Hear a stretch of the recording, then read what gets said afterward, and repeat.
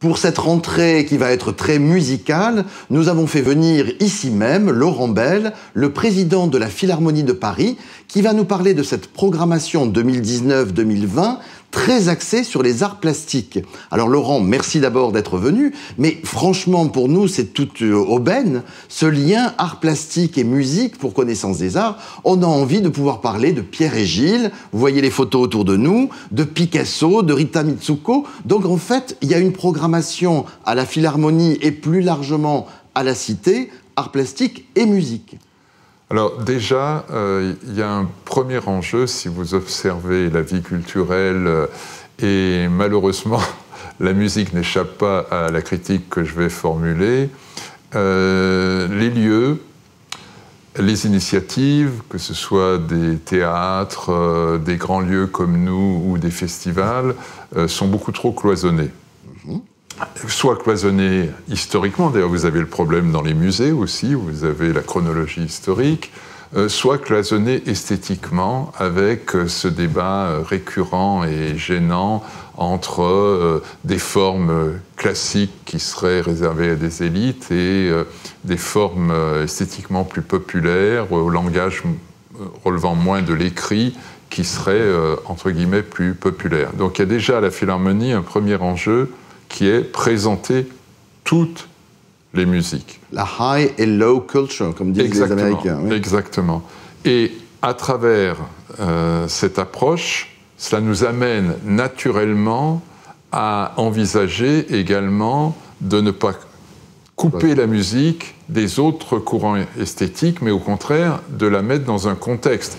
Si vous faites Pierre et Gilles, d'une certaine façon, vous vous mettez aussi en contact avec des formes de musique populaire, puisque euh, tout le travail qu'ils ont euh, euh, réalisé porte sur des icônes des années 70 à aujourd'hui, de Sylvie Vartan à des, jeunes, qui relèvent principalement de, de, ce champ. si vous mettez en avant Picasso, euh, ce qui est le cas d'une exposition que nous réaliserons autour de Picasso. Là aussi, vous êtes bien sûr euh, au début du XXe siècle dans un champ, euh, on va dire, classique, mais esthétiquement, Picasso ne s'en est pas tenu à Stravinsky, il est allé vers des musiques de Satie, vers d'autres. Donc c'est une façon pour nous de remplir ce que je crois essentiel aujourd'hui, c'est une certaine vision généraliste de façon à donner au public de toute génération des perspectives plus larges, de comprendre dans quel contexte s'inscrit telle, ou telle création, telle ou telle proposition. Alors, comment ça se passe au niveau de la programmation? D'abord, essayons d'expliquer. La Cité de la musique, ce n'est pas que la philharmonie, il y a aussi le musée qui est avec.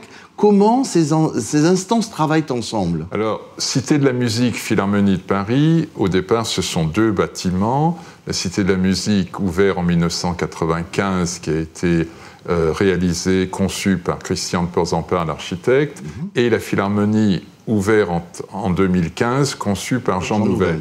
Ces deux bâtiments sont inscrits dans une même institution qui s'appelle Cité de la musique Philharmonie de Paris, et dans cette euh, institution, vous trouvez un pôle concert, toute forme, euh, époque ancienne, Moyen Âge, baroque, jusqu'à la création contemporaine, musique écrite, musique populaire, plus de 500 concerts par an.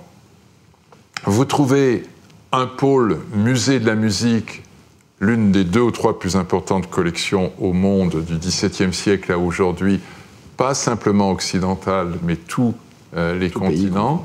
Et vous trouvez un très grand pôle éducatif, éducation enfant, relations avec les familles, mais aussi projets spécifiques avec le monde scolaire, voire quartier en difficulté, création d'orchestres d'enfants que nous appelons DEMOS. Mhm. Plus de 35 orchestres d'enfants ont été créés à ce jour, non seulement à Paris en Ile-de-France, mais euh, dans de nombreuses régions françaises.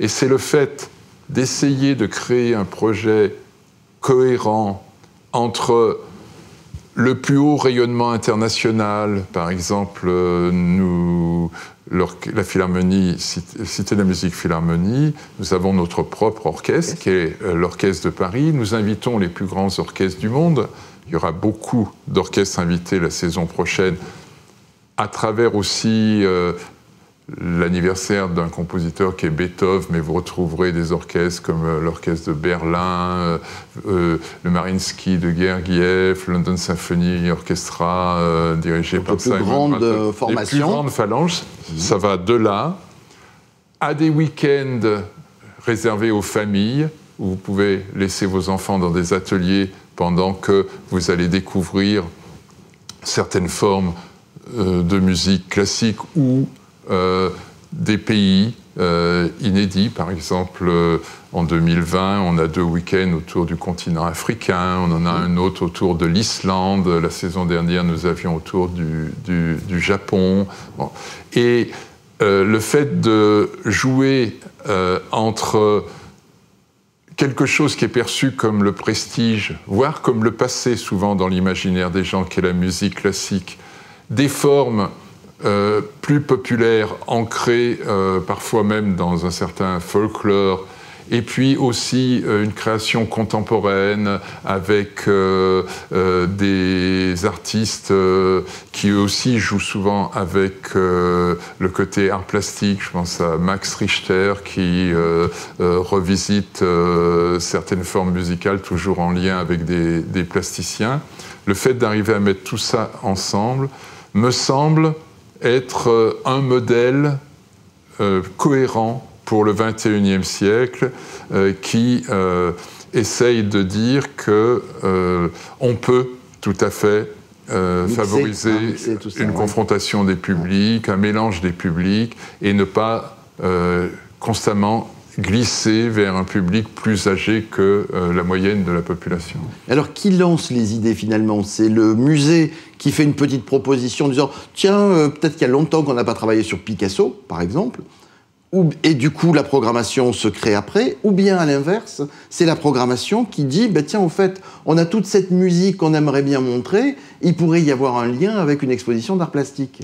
Alors déjà, au départ, euh, chaque semaine, euh, je réunis euh, les responsables assemblée. voilà, des différents secteurs, dont la directrice du musée et dont les directions de la pédagogie et des concerts. Et parfois, les choses ne peuvent venir que du musée. Quand vous dites Picasso, il faut avoir déjà des discussions avec le président Laurent Lebon du musée Picasso pour être sûr que oui, d'obtenir les prêts. ça c'est capital c'est le musée là qui devient prescripteur. Et mhm. immédiatement, nous nous disons, bah oui, en termes de concert, on voit très bien Picasso, euh, on peut euh, réaliser un concert où euh, on reproduit ce qui s'était réalisé au début du XXe siècle. Donc, on construit les concerts en regard et à partir d'une proposition qui vient du musée. Ça, c'est un, premier mode de fonctionnement. de fonctionnement. Bon. Après, vous pouvez avoir d'autres modes de fonctionnement comme euh, aujourd'hui, euh, je vous donne un exemple, nous nous questionnons beaucoup sur euh, une donnée qui nous semble pertinente pour ce début du XXe siècle, c'est celle de la nature, l'écologie, l'ordre du monde. Donc du 21e siècle. Voilà, et du 21e siècle, effectivement. et nous nous interrogeons parce que, d'une certaine manière, le patrimoine musical représente souvent une nature tourmentée, mhm, mhm. et la création contemporaine, en musique, se pose aussi cette question. Je pense à un compositeur américain comme Phil Glass, qui a fait avec euh, des réalisateurs euh, des musiques euh, en regard de films qui mettent en jeu le danger de destruction de la nature.